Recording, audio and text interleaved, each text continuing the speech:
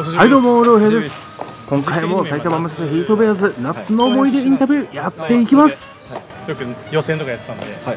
やっぱ夏隊とい。えばじゃあ夏夏の思い。出をちょっと聞きたくてはい。高3の時の甲子園甲子園ですか行かれたんですか行きました広島の広陵高あ広陵高校、校はい。中村翔成とかががい。い。ですねえためですかためですなるほどよしえその時はベンチ入り。いやベンチ外です。ねスタンドで、はい。決勝まで行きましたよね、それって試合あるたびに来てたんですか？泊まってたんです。かえーっと2回戦以降ですかね泊まったのは。あはい。まあそうなんですね。1回戦は泊まらずに。確かに長いですもんね。始まるまで。ここからはまあ泊まりって感じ。泊まりっていうのはもうベベンチえ野球部みんなで泊まあもう全員です。めっちゃ部員いるんじゃないですか？15060人ぐらいいたんで150人いて全員泊まりですか？はいなんかもうホテル全部借りるみたいな。なんかホテルっていうか宿舎。なんか詰め所みたいな。詰め所。なんか座敷なんか広い座敷にあー座敷にあそういうことか。全員でなんか大部屋みたいな。あそうですね。そういう感じだった。んです楽しかったですか？楽しかった。じゃあレギュラーメンバーとは別の部屋ですか？そうですね。また別ですごい長い間じゃあ過ごしたってことですよねそうですね。かなり長かったですね。で決勝が埼玉の花咲とかどこあるか。でボロボロに負けちゃったんですけど。でもね中村翔成選手のあのホームランとかやっぱりねすごい印象的じゃないですか。そうですね。打点記録でしたっけ？ホームラン記録も。作りました。ですよね。だってなんかいろいろ記録作ったんですすごいっすよ普段あの選手はどういう選手だったんですか？肩強くてもう全部揃ってる感じですね。足も速くてやっぱ裏ですごいやっぱやばい練習とかずっと練習してたんです。ああいやまあ やってる人と比べたらそんなまああそんなあセンスってことか。センスセンスそれが夏の思い出ということで近所だもんなじゃあね。俊足なんで、足で見せるプレーを。そうですね。本日ちょっとあの僕ボールボーイと、はい。あの解説6回から解説するので。あそうですガミしてもらうんで、はい。よろしくお願いします。はい。お願いしますはい、ありがとうございました、はいありがとうございましたおはようございます。ちょっと改めて背番号とお名前お願いします。え背番号12番のピッチャーやってる大手山です、はい。よろしくお願いします。太田さんお願いします。お願いします。ちょっと今ズムサタみたいな感じで夏の思い出をちょっと選手の皆さんに聞いて回ってるんですけれども。でも夏の思い出は高校野球ですかね。僕らちょうど甲子園なかった世代。代、はい、世代なんですけどコロナで。それでも一応大会大会あってそこで最後ちょっと打たれて負けちゃった記憶が結構深くて。はいはい練習もなかなかできなかったですよね多分そうですね。もう自主練習ばっかりだったんで。うん。本当に全体練習できたの大会近づちょっと近づいてき6月入ってからぐらいだあそうですね。そんぐらいだと思います。それがあったから今ここで野球続けられてるっていう。今年も暑くなると思うんではい。熱中症にも気をつけてありがとうございます。ガンガンいいピッチングしていってください。頑張ります。はいありがとうございます。ありがとうございます。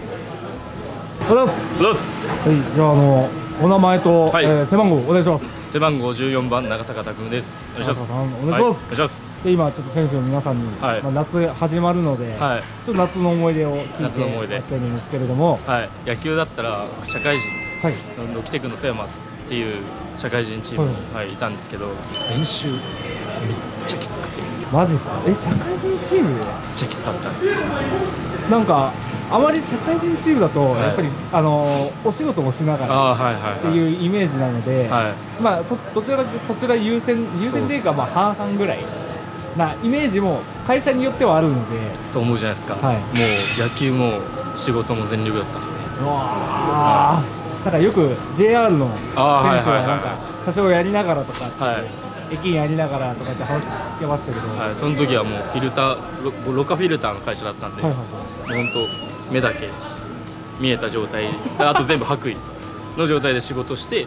でそこからも仕事終わって野球行ってみたいな。でその練習が死ぬほどきつくて。でそれが夏ですよね。夏です。あれ富山？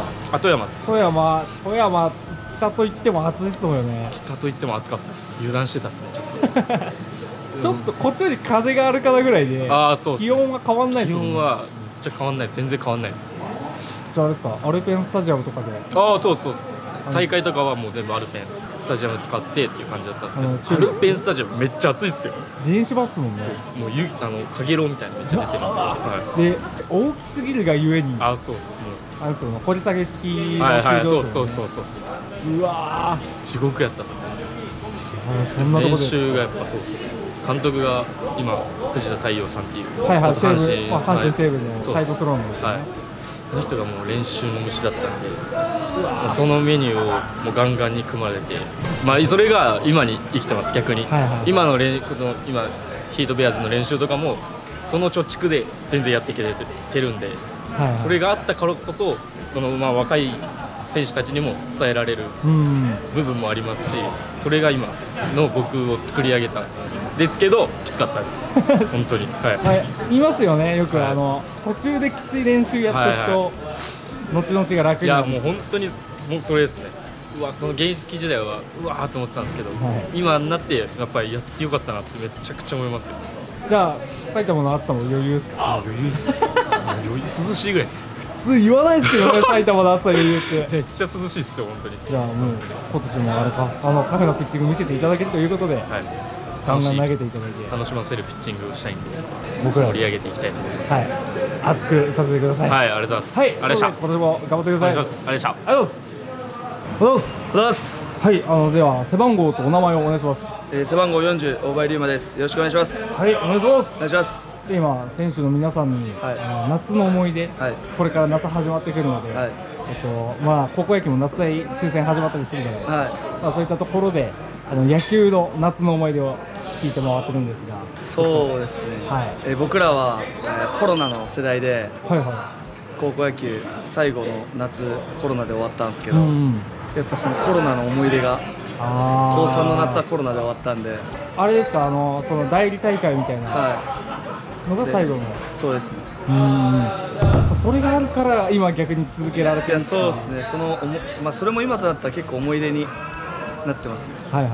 ちなみになんですけれどもあの高校はどちらの県で？京都の高校です。おおじゃあ夏京都暑いっすよね。はい。めちゃめちゃ暑いです。盆盆地っすもんね、あそこ。実際まあ埼玉も結構暑い暑いって言われてるんですけど、それこそあのベアさんも熊谷とかで試合やられるじゃないですか、実際どっちが暑いですいや熊谷っすね。か 京都よりは？埼玉も勝てないっす。でも京都だって40度越すじゃないですかたまに、数年に1回ぐらいは、そうですね。でも京都も暑いですけど埼玉の方が圧倒的に多い日が多いっす。暑い日がやっぱ多いっす。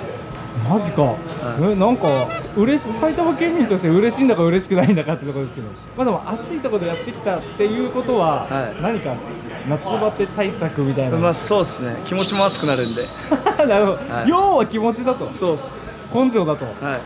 あ、大事ですからね。そうっす。暑い日は気持ちも熱くなるっていう。はい、じゃあ気持ちが熱くなってるから別に外もそんな熱く感じねえよはい。みたいな、野球が野球はやっぱ夏じゃないですか。まあ、そうですね。気持ち入るっすね。おおもうこれ期待大だな。はいありがとうございます。じゃあもうマウンドでももう燃えないでいただいて燃えるような気持ちで、ははい。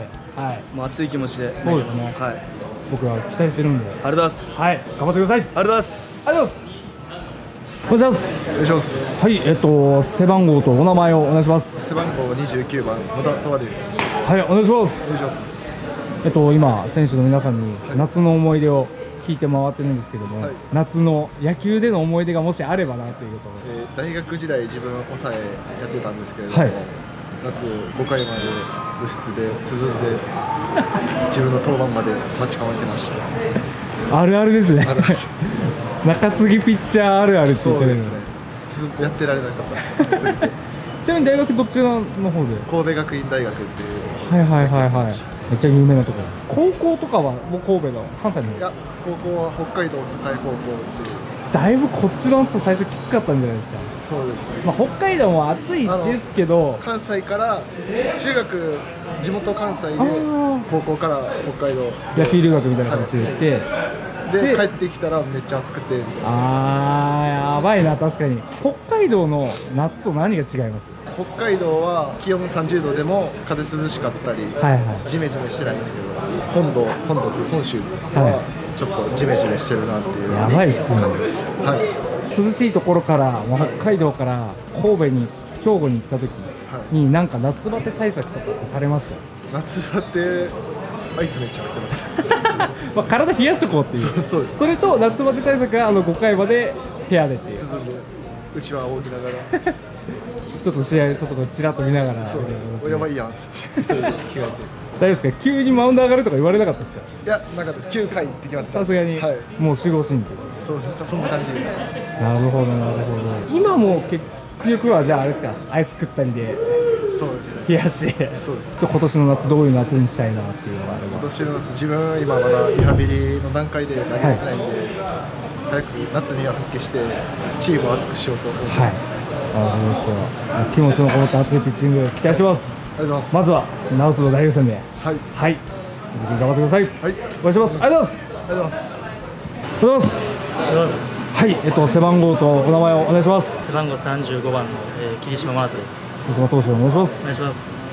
はい、えっと、今、その選手の皆さんに夏の思い出聞いてるんですけれども、野球でなんか夏の思い出あるなっていうところがあれば、夏の思い出で言ったら、まあ、高校になるんですけど、はい。まあ、最後の夏、まあ、ちょっと春先怪我してしまって、はいはい、それがちょっと長引いちゃって、最後、スタンドに回ることになって、あ最後まで絞り込みのメンバーとかあるじゃないですか、ーはい、そこには入れてもらったんですけど、その発表された後に、もうすぐ監督さんに自分からサポートを回らせてくださいって言いに行って、まあ、スタンドに回ったっていうのが、思い出でもあり、ちょっと嫌な思い出でもあうる。ん、まあ、その悔しい思いがあったから、今は、えっと、BC リーグでもあそういうことです。引き続き野球を続けるって原動力になってるっていう、そういうことです。ちなみに、あの高校はどちらで、高校は兵庫の育英高校。おお、栗山さん先生のあ選手の。そうです。強豪中の強豪じゃないですか。いやー今はそういうことなんいです。やいやいやいや。兵庫も